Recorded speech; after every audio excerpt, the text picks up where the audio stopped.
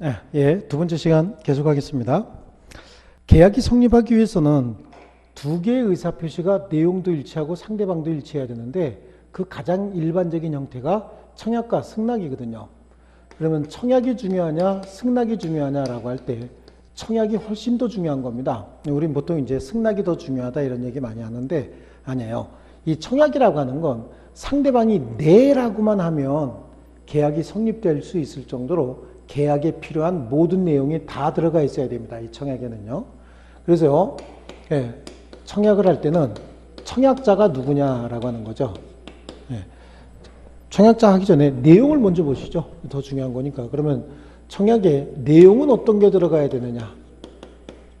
청약의 내용은요. 상대방이 네 라고만 하면 오케이 라고만 하면 계약이 성립될 수 있을 정도로 필요한 모든 내용이 다 들어가야 된다. 그래서 청약은 구체적이고 확정적인 의사표시해야 된다. 구체적이고 확정적인 모든 내용이 다 들어가 있어야 된다라고 얘기를 합니다. 그러면 청약자는 누구냐라고 하는 거죠. 청약자는 청약자는 아마 계약의 당사자가 될 특정인이 청약자가 돼야 되죠. 여기서는 갑일 거예요. 갑이라고 하는 계약의 당사자 특정인이 청약자가 돼야 되는데 이 청약자가 청약의 의사표시 속에 반드시 표시되어 있어야 되느냐? 아닙니다. 표시되어 있어도 되지만 표시되어 있지 아니한 경우에도 청약은 인정이 되는 거죠. 이 청약의 가장 구체적인 형태가 우리 자동 판매기예요. 우리 자동 판매기 보시면요. 자동 판매기에 물건의 종류에 따라서 이 물건은 얼마, 이 물건은 얼마, 사용 방법까지 다 아마 들어가 있을 거예요. 이 자동 판매기에 보면 거기에 구체적으로 어떤 물건은 얼마씩 팔겠다라고 하는 확정적 의사표시, 물건의 사진까지 보여주죠. 그런데 그 안에 청약자가 누군지는 표시되어 있지 않습니다. 그 보통마다 전부 다 예, 청약자가 누군지 안 써 있죠. 아마 뒤에 어딘가 가면은 관리자가 누군지는 써 있을 가능성이 있어요. 하지만 청약자가 누군지는 써 있지 않습니다. 그래서 그 다음에 상대방은 누구냐? 청약의 상대방은 누구냐? 청약의 상대방은 계약의 상대방이 될 특정인이 될 수도 있죠. 그러니까 개인끼리 청약을 하게 되면 특정인이 청약의 상대방이 되겠지만 불특정 다수도 청약의 상대방이 될 수 있다. 그래서 불특정 다수를 상대로도 청약은 할 수 있는 것이다. 불특정 다수에 대한 청약은 자동 판매기 보면 됩니다. 자동 판매기는 모든 지나가는 사람에게 이거 얼마 집어넣으면 이 물건 주겠습니다라고 청약하고 있다고 보는 거죠. 예, 그러면요. 청약을 하면서 승낙 기간을 반드시 정해야 되냐 이런 문제도 생길 수 있죠. 이 승낙 기간은 정해도 되고 정하지 않아도 되는데 승낙 기간을 정하면 그 승낙 기간이 청약의 유효 기간이다. 이렇게 얘기를 합니다. 청약의 효력 기간, 유효 기간이다. 이렇게 얘기를 하는데 승낙 기간을 정하지 않았으면 상당한 기간이 승낙 기간으로 그냥 정해지는 거죠. 그 상당한 기간으로서 청약의 유효 기간이 그냥 정해지는 겁니다. 이 청약인데 중요한 내용이 이겁니다. 구체적이고 확정적인 의사표시로서 상대방이 네라고만 하면 계약이 바로 성립될 수 있을 정도까지는 돼야 된다. 음, 그러니까 여기서 청약과 청약의 유의는 다르다라고 얘기를 하는 거죠. 청약의 유의는 구체적이고 확정적인 의사표시라고 보지 않습니다. 구체적이고 확정적인 의사표시가 아니다. 예를 들어서 구인 광고 했대요. 구인 광고 했으면 또는 임대차 계약을 놓겠다라고 해서 무슨 뭐 무슨 무슨 방 이런 데다가 내놨답니다. 그 구인 광고 했는데 입사 지원을 천명이 했다. 그럼 천명하고 다 계약을 체결해야 되느냐? 그건 아니죠. 고용 계약은 그 중에서 몇 명을 고르는 겁니다. 그래서 어떤 회사에서 구인 광고를 냈다라고 하는 건 청약을 유인한 거예요. 우리 회사에 지원해 주세요. 그래서 이 회사에서 근무하겠습니다라고 지원을 하는 거 이거 자체가 청약입니다. 예, 청약이고 그 중에서 자기한테 맞는 사람, 자기 회사에 필요한 사람을 뽑아내는 거 이걸 승낙이라고 보면 되죠.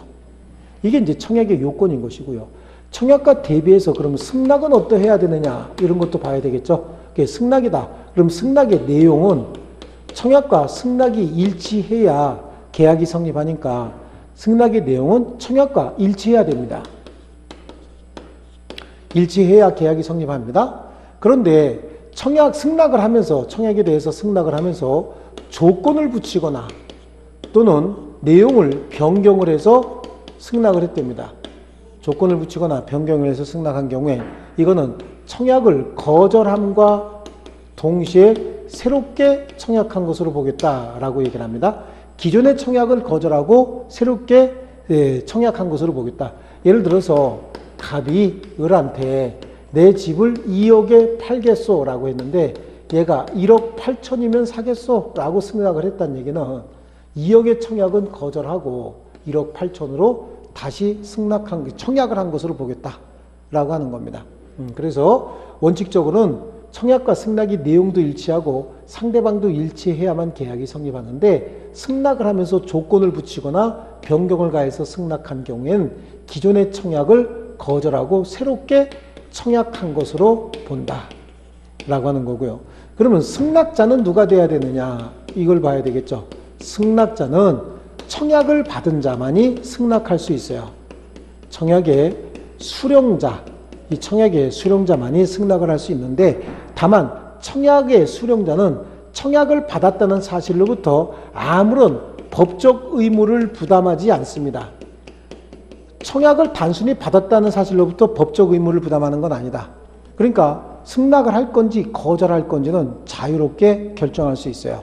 또는 청약을 받고도 승낙할 의무조차도 없어요. 또는 거절할 의무조차도 없다. 회답할 의무도 없습니다. 아무런 법적 의무가 없으니까 승낙을 할 건지 거절을 할 건지 아니면 회신을 할 건지 회신을 안 할 건지 이것도 다 예, 자유롭게 결정할 수 있다. 회답할 의무조차도 없다.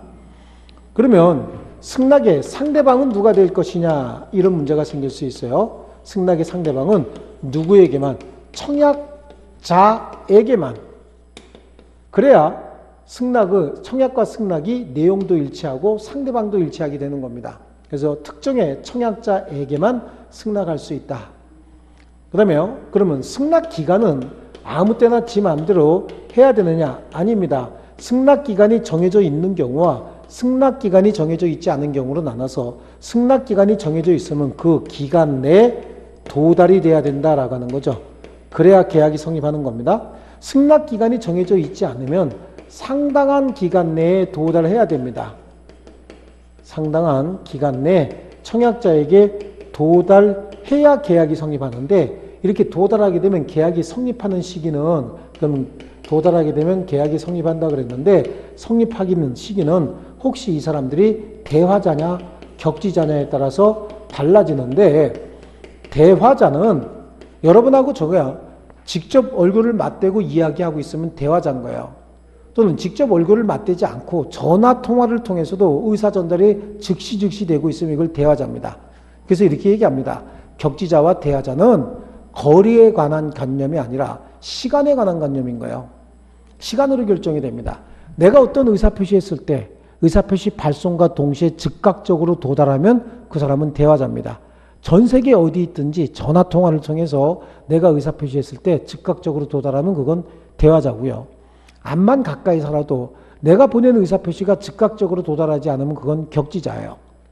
그래서 대화자 사이와 격지자 사이가 조금 다른데 대화자 사이에는 승낙의 통지가 상대방에게 도달한 때예요. 이거는 도달 시점과 발송 시점이 동일하죠. 그러니까 상대방이 있는 의사표시는 원칙적으로 도달주의를 취하기 때문에 상대방에게 도달한 때 계약이 성립하는데 격지자는 의사표시를 발송한 시점과 도달한 시점이 다르죠.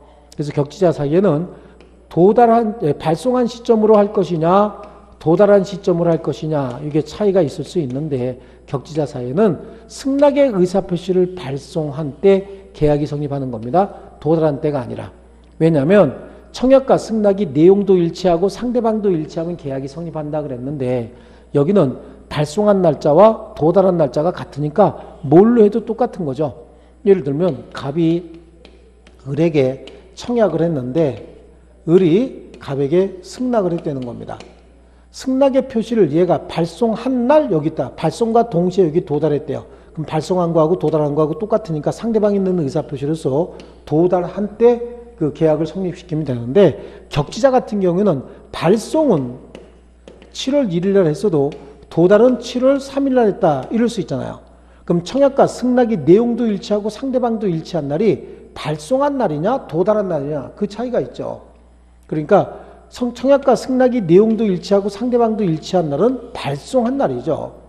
발송한 날 일치했기 때문에 계약의 성립 시기를 마치기 위해서 대화자 사이에는 똑같은 날이니까 원칙적으로 도달주의고 격지자 사이에는 일치한 시점을 찾아서 발송한 때 계약이 성립한다. 그래서 요거는 가끔가다 시험에 등장합니다.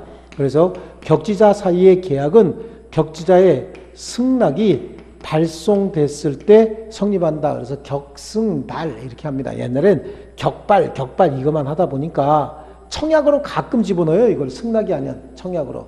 그래서 격승발 그리고 어떤 분들은 요거 지우고도 이렇게 읽는 분들도 있습니다. 발음도 세게 해서요. 근데 하여튼 이렇게 알아두시면 되겠는데요. 자, 다만 이런 경우도 있을 수 있어요. 연착한 승낙을 어떻게 볼 것이냐라고 하는데요. 그러면 기간 내에 도달해야 계약이 성립한다라고 지금 얘기하고 있잖아요. 근데 기간 내에 도달하지 않고 연착한 거 어떻게 처리할 것이냐. 자, 승낙 기간이 정해져 있다든지 아니면 상당한 기간이 이날인데 지금 청약자가 청약을 받은 자가 즉 승낙자가 승낙의 통지를 발송을 해서 기간 내에 도달하면 계약이 성립하는 거죠. 그러니까 도달 시점과 발송 시점이 같은 경우도 있고 발송 시점은 이때인데 늦게 도달하는 경우도 있고 어쨌든 발송한 때 계약이 성립하고 여기는 발송과 도달이 같으니까 도달한 때 계약이 성립하고 뭐 어쨌든 기간 내에 도달은 해야 되는 건데요. 혹시 연착한 경우 어떻게 할 것이냐라고 하는 거죠. 연착한 경우.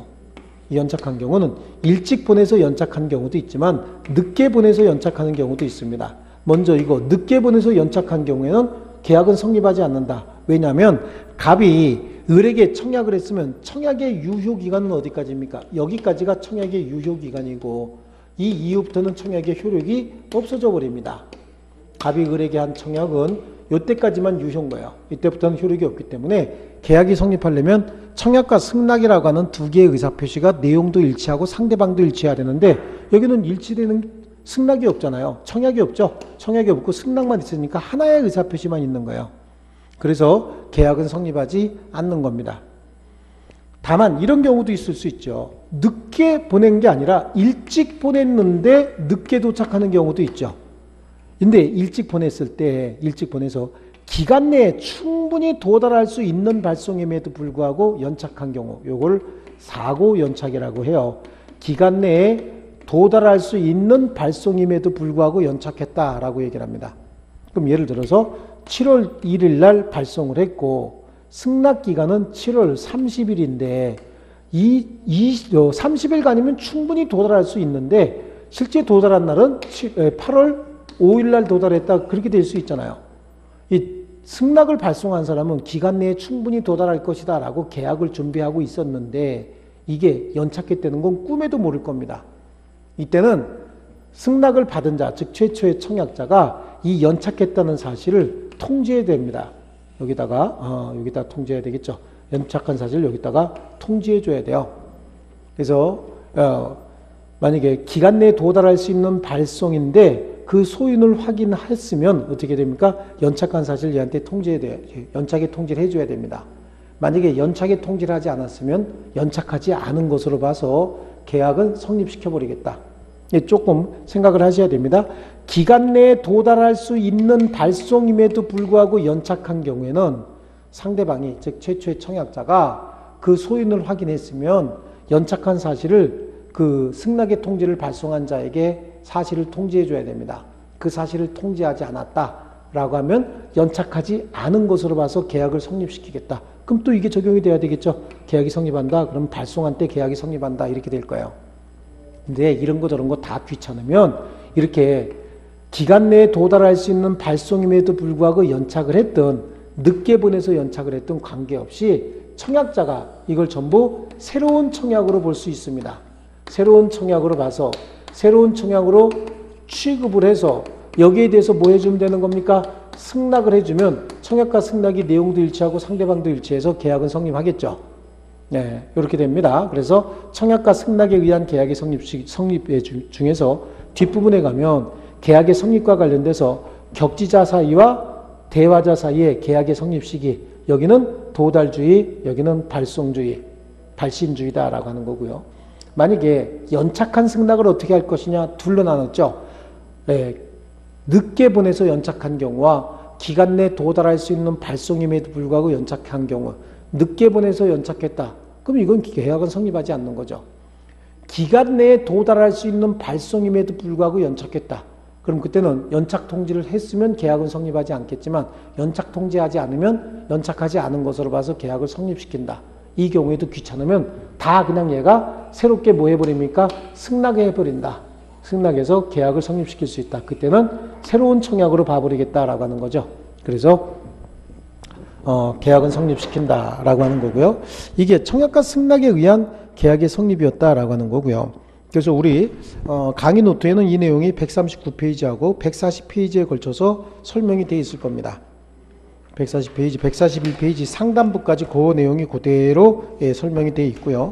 우리 기본서로 가시면요. 464페이지에 계약이 성립하기 위해서는 객관적 합치, 주관적 합치다라고 하는 그 객관적 합치가 내용의 합치를 얘기하는 거고 주관적 합치다라고 하는 건 상대방의 합치를 얘기하는 겁니다.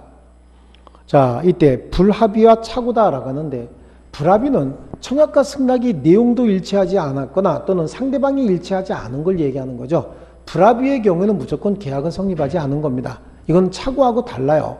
착오는 계약은 성립했는데 내가 의, 의도했던 효과가 아니라 다른 효과가 나타났을 때 착오고 불합의는 처음부터 아예 계약이 성립하지도 않은 거다. 그러니까 여기는 의식적 불합의, 무의식적 불합의 다 쓸데없는 얘기입니다. 그냥 불합의는 계약이 성립하지 않은 것이고 착오는 계약이 성립했는데 나중에 취소할 수 있는 것이다. 불합의는 계약이 성립하지 않는 것으로 완전히 착오와 불합의는 다르다. 이것만 기억하시면 됩니다. 그 다음에 기본서 466페이지에 보면은 청약이 나오고 있죠. 예, 청약도 일방적인 의사표시긴 합니다. 그래서 거기 판례 보시면 계약이 성립하기 위한 법률 요건인 청약은 그에 응하는 승낙만 있으면 계약이 성립하는 구체적인 확정적인 의사표시여야 한다라고 하는 거죠. 그래서 계약에 필요한 모든 내용을 다 가지고 있어야 된다. 라고 하는 판례하고요. 그래서 청약은 확정성이 있고 그러면 청약자는 누구냐라고 하는 나. 청약자는 특정인이 되지만 그 특정인이 반드시 표시되어 있어야 되는 것은 아니다라고 해서요. 라고 하는 거고 상대방은 누가 되느냐? 청약의 상대방은 특정인도 될 수 있고 불특정 다수와 다수에 대해서도 할 수 있다. 그러니까 청약을 가장 일반적인 형태로 바, 어, 표, 저, 설명해 봐라 그러면 자동 판매기 설치라고 보시면 돼요. 청약과 청약의 유인은 다르다. 청약과 청약의 유인은 다르다. 청약은 구체적이고 확정적인 의사표시이기 때문에 상대방이 승낙만 있으면 계약이 성립한다. 이게 청약이고 청약의 유인은 나에게 청약해 주시오라고 예, 일종의 꼬시는 거죠. 그러니까 뭐 아파트를 임대 놓겠습니다. 구인 광고 이런 것들이 청약의 유인이라고 보시고요. 청약의 효력 발생 시기인데 청약은 상대방이 있는 의사표시니까 상대방에게 도달하면 효력이 발생하겠죠. 예, 그래요. 그 다음에 청약의 구속력이라고 하는 300, 467페이지 예, 밑에 청약의 구속력인데 계약의 청약은 이를 철회하지 못한다. 그 이유는 상대방이 있는 의사표시니까 계약의 청약이 상대방에게 도달하면 효력이 발생하지 않는, 네, 저 효력이 발생한다는 얘기예요. 임의로 철새, 철회하지 못한다 그런 얘기죠. 음. 그리고 청약을 하면서 승낙 기간을 정한 경우와 승낙 기간을 정하지 않은 경우, 승낙 기간을 정했으면 그 기간이 청약의 유효 기간이다.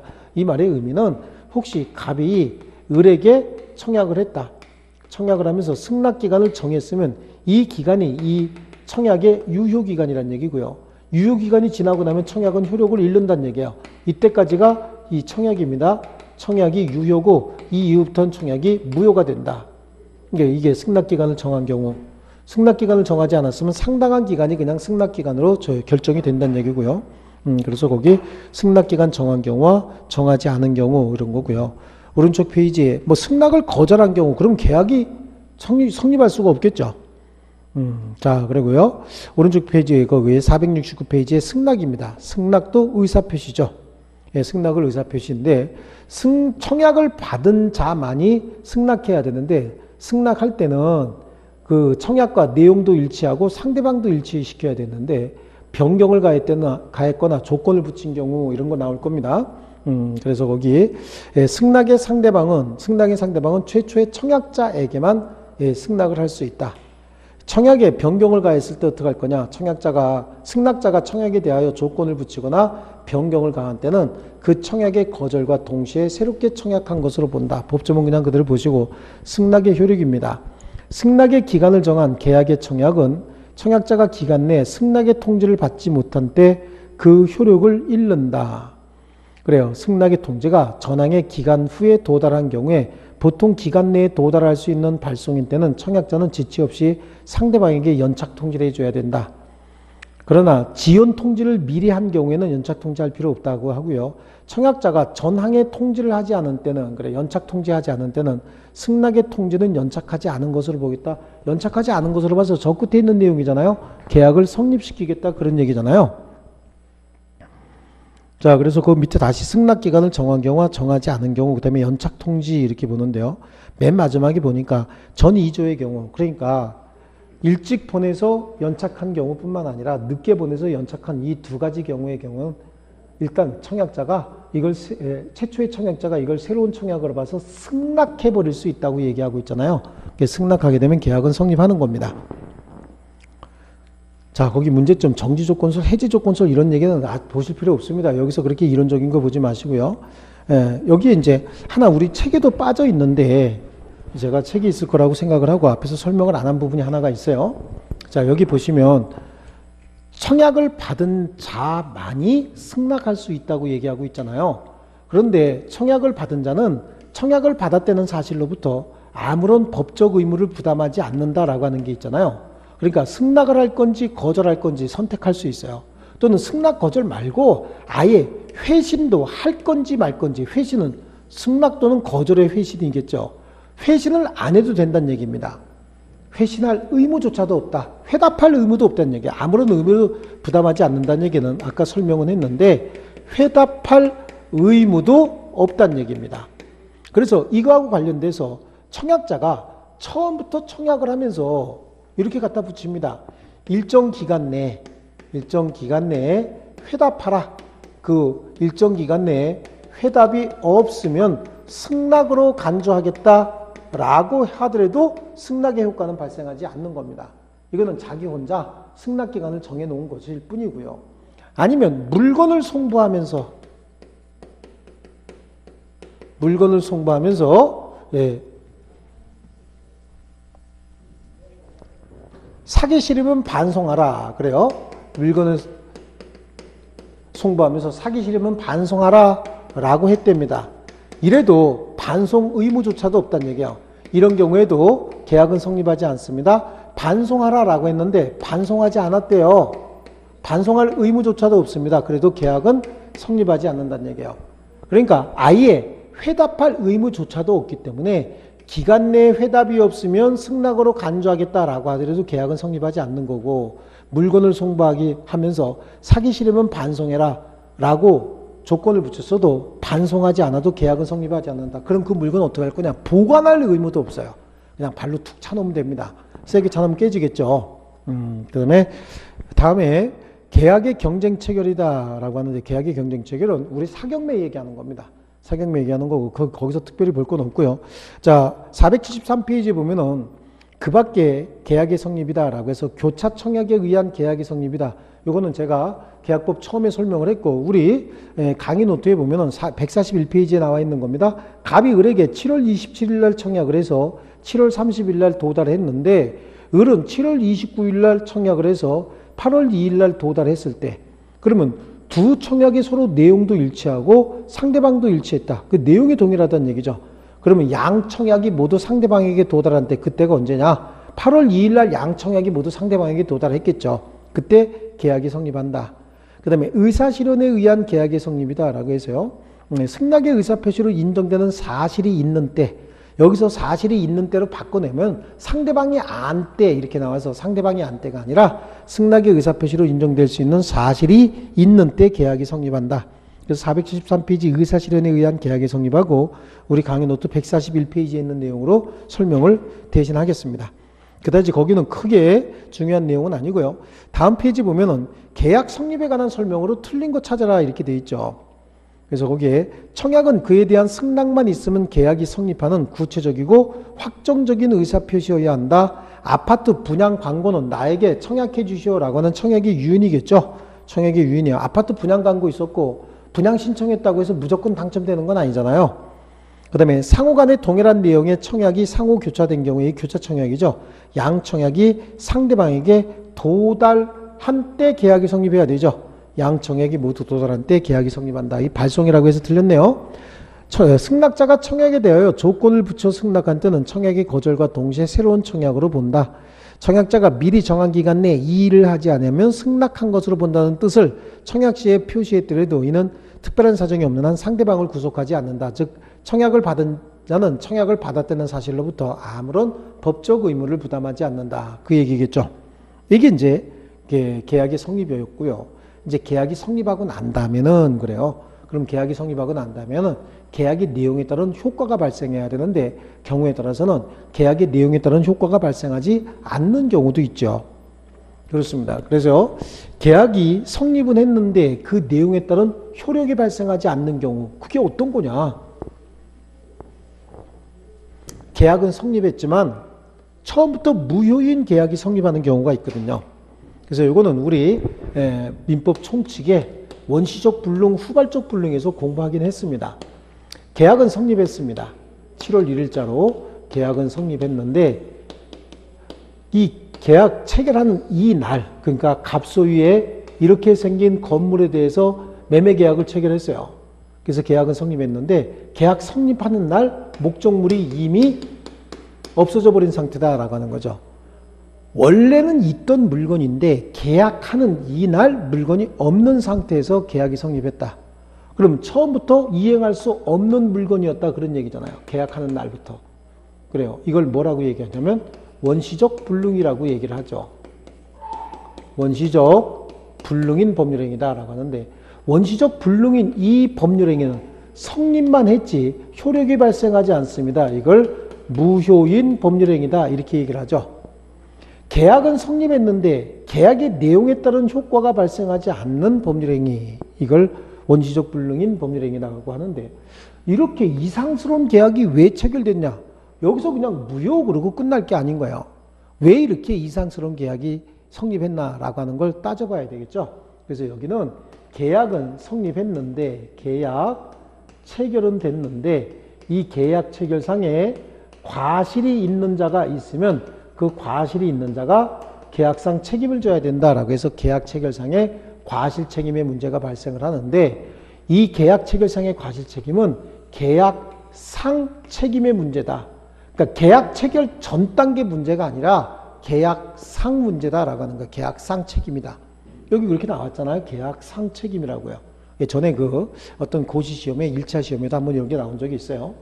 그러면 계약 체결상의 과실 책임 이렇게 이상스러운 계약이 성립한 데 있어서 과실이 있는 사람이 책임져야 된다 그런 얘기인데 그럼 누가 목적물의 매도인이고 목적물의 매수인이라고 했는데 물건이 이행이 불능이 됐잖아요. 물건에 대해서는 이 물건이에요. 물건만 봤을 때는 얘가 매도인이면서 물건에 대해서는 이 사람이 채무자가 되는 거예요. 물건만 보는 겁니다. 그 다음에 매수인은 그러면 저 물건에 대한 이행 청구권자니까 쟤는 뭡니까? 채권자가 되겠죠. 여기는 매도인, 매수인이라고 볼 수도 있고 채무자, 채권자 이렇게 부르는 경우도 있어요. 계약 체결상의 과실 책임에 있어서는 채무자인 갑이 저 불능에 대해서 악의 또는 과실이 있고 매수인 을은 저 불능에 대해서 선이면서 동시에 무과실이다. 주의를 다해서 살펴도 알 수 없었다. 라고 할 때 그때 계약 체결상의 과실 책임을 물어서 손해배상을 청구할 수 있어요. 예, 손해배상을 청구할 수 있는데 이 손해배상의 범위는 실내이익의 손해배상이다.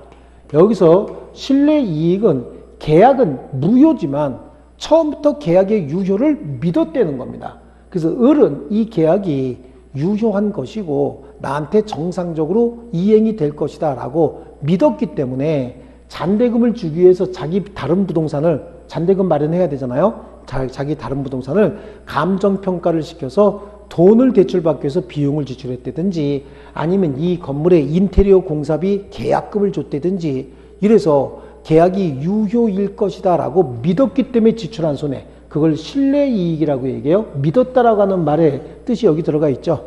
신뢰이익에 손해배상을 청구할 수 있다. 라고 하는데 이때 이 실내 이익은 이행 이익을 초과할 수 없다라고 하는데 이 이행 이익은 실내 이익이 계약의 유효를 믿었기 때문에 지출한 손해라고 한다면 이행 이익은 계약이 유효함으로 인하여 얻었을 이익이다 이런 얘기합니다. 계약이 유효함으로 인하여 얻었을 이익은 계약이 그대로 이행이 됐으면 그 자리에서 되팔아서 얻을 수 있었던 이익이 있으면 그 이익을 이행이익 상당액이다 라고 하는 정도로 보시면 되는 거죠. 그래서 계약 체결상의 과실 책임은 여기는 갑이라고 했지만 매도인 또는 채무자라고 불릴 수도 있고 을이라고 했지만 매수인 또는 채권자라고 불릴 수도 있고 이런 요건을 갖춰야 된다. 손해배상에 보면 요거 정도다라고 하는 거고요. 또 하나는 이거 하면서 항상 같이 하는 게 후발적 불능이에요. 계약 체결할 때는 목적물이 있었다는 겁니다. 목적물이 있었는데 나중에 이행기 전에 멸실이 됐다라고 하는 거죠. 그러니까 계약 체결할 때는 목적물이 있었으니까 이거는 계약 체결할 때는 불능이 아니었었어요.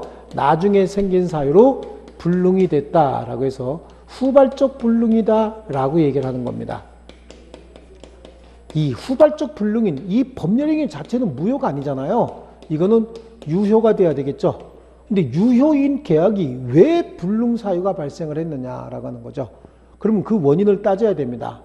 여기 불능을 발생시킨 원인이 채무자인 갑에게 책임 있는 사유냐 아니냐 이거 가지고 따져서 유효인 계약이 이행할 수 없게 됐으니까 갑에게 책임이 있느냐 없느냐 이거 갖고 따져야 돼요. 갑에게 책임이 있는 경우와 갑에게 책임이 없는 경우로 이렇게 나눠서 갑에게 책임이 있으면 이건 그 책임 있는 사유로 채무를 이행하지 않았으니까 채무 불이행이 성립하는 거겠죠.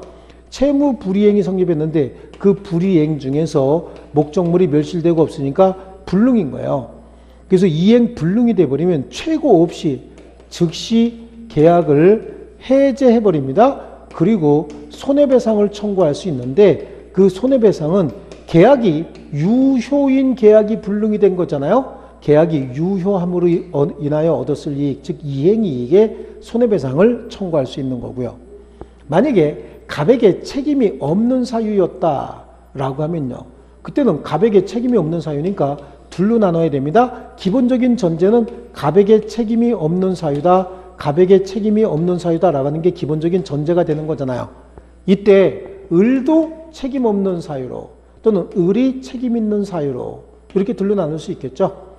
만약에 갑도 책임 없는 사유고 을도 책임 없는 사유다.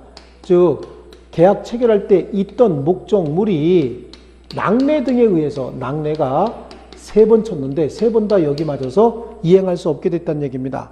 그러면 갑에게도 책임이 없는 사유고 을에게도 책임이 없는 사유로 이행할 수 없게 됐으니까 이때는 위험 부담의 문제가 발생을 한다라고 얘기를 해요.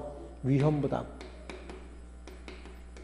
왜냐하면 이런 물건들은 천재사변 등에 의해서 얼마든지 없어질 가능성이 있잖아요. 위험 부담의 문제가 발생하지. 그 누구도 책임을 질 일은 없는 거죠. 누구의 귀책 사유도 없으니까 그 책임은 지지는 않습니다. 위험 부담의 문제가 발생을 하는데 위험 부담은 원칙이 누가 부담하느냐. 위험의 부담 원칙은 채무자가 부담하는 겁니다. 채무자가 위험을 부담한다. 채무자가 위험을 부담한다는 얘기는 채무자가 이에 따른 손해를 다 감당한다라고 하는 거예요. 그러니까 채무자가 위험을 부담한다는 얘기는 혹시 얘한테 계약금이나 중도금 받아놓은 게 있다. 그럼 계약금이나 중도금은 돌려줘야 된다는 얘기죠. 자기가 손해를 그냥 감소해야 되니까요. 채무자 부담주의다라고 얘기를 하고요. 예외적으로 채권자가 위험을 부담하는 경우도 있는데 채권자 부담하는 경우도 있는데 채권자가 어떤 경우냐면 수령 지체 중에 채권자 수령 지체 중에 이런 일이 생겼다는 겁니다. 쌍방 책임 없는 사유로 멸실이 돼버렸다. 그럼 당연히 채권자 수령 지체라고 하는 건 어떤 거냐면 채무자인 매도인은 소유권 이전 등기에 필요한 이행 준비를 완료하고 얘한테 수령해 가라고 그리고 하물며 그 물건을 법무사 사무실에다 등기 관련 서류까지 다 맡겨놨는데 채무자 채권자인 을이 돈이 준비가 안 돼서 받으러 못 오고 있는 상태였다는 겁니다. 이런 경우죠. 이런 경우에 누가 그때는 을이 책임을 져야 된다. 그럼 을이 어떻게 책임지느냐? 이거하고 같은 책임을 지는 거죠. 여기도 갑에게는 규책 사유가 없고 을에게 책임 있는 사유로 목적물이 멸실됐다. 을이 이 안에 들어가서 담배 피다가 담배불 잘못 던져서 불이 났다. 그럼 을에게 책임 있는 사유잖아요. 그러니까 얘도 책임을 져야 되죠. 그러면 둘 다 채권자가 책임을 지는데 채권자는 어떻게 책임지느냐? 이 거래 관계에서 채권자인 을이 책임진다는 얘기는 대금 주는 거죠. 대금 지급하면 책임 간단하게 지는 거잖아요. 대금을 지는데 대금은 스스로 주지는 않을 거예요. 스스로 주지는 않기 때문에 갑이 대금을 여기다가 청구하는 겁니다. 대금은 청구하는데 갑은 목적물이 없어졌으니까 자신의 책임은 면하되 대금은 청구할 수 있어요. 그런데 요 전 단계로 한번 가서 먼저 생각을 하나 해볼게요. 정상적으로 이행을 하고 대금을 받았다라고 하면 정상적으로 이행하고 대금 받았으면 양도소득세 상당액을 내야 될 텐데 이거는 불능이 됐으니까 이행하지 않고 대금만 받을 거 아니겠어요? 그럼 양도소득세라는 걸 낼 필요가 없죠. 정상적으로 했으면 양도소득세 낼 텐데 양도소득세 낼 필요가 없게 되는 겁니다. 그러면 그 청구하면서 이익이 생기죠. 자신의 의무를 면함에 따라서 얻는 이익, 즉 양도소득세 상당액을 안 내도 되는데 그 이익은 얘한테 반환해 줘야 된다라고 하는 겁니다. 이게 후발적 불능 중에서 위험부담인데 우리 책의 순서는 계약 체결상의 과실 책임 먼저 나오고 그 다음에 동시 이행의 항변권하고 위험부담이 먼저가 나오고 그 다음에 계약의 해제 쪽에서 채무 불이행이 이렇게 나오거든요. 순서는 요거하고 요렇게 요 세 번째 순서예요. 요것도 이제 동시행의 항변권하고 같이 나오는 겁니다.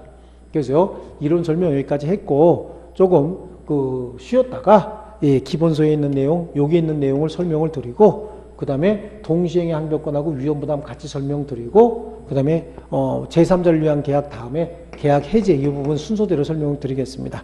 자 잠시 쉬었다가 하겠습니다.